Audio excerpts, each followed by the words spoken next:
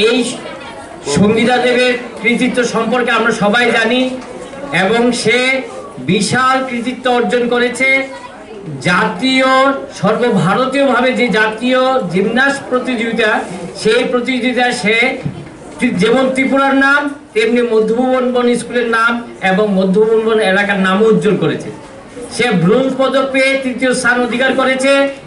এই উপলক্ষে আজকে তার সম্বর্ধনা। আমরা সম্বর্ধনা শুধু তাকেই নয়, তার মা এবং বাবা উভয়কেই দিচ্ছি। এই মা এবং বাবা, এরকম মা, বাবা পাওয়া আমাদের কাছে বড়ই দুর্লভ। কারণ প্রতিটা সন্তানের, ছোটদের আমরা চারা গাছ হিসেবে ভাবি। এই চারা গাছকে তারা যেভাবে যত্ন করছে এবং যত্নে তারা সাফল্য পাচ্ছে এবং আশা করি ঠাকুর তাদেরকে আরও অনেক সাফল্যের অধিকারের সাফল্য অর্জন করার মধ্যে সামর্থ্য দেবে।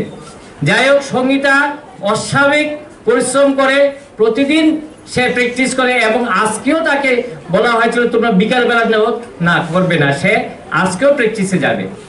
যে যাই হোক, সে যেরকম পড়াশোনায় ভালো, সেমন তার নম্রভাব এবং সবসময় প্রতিদিন সে তার যে প্র্যাকটিস এই প্র্যাকটিস সে বজায় রাখছে এবং তাকে এই ঠাকুর বিভিন্নভাবে সাহায্য করে, তাকে অনেক উপরে ওঠার সাহায্য করছে।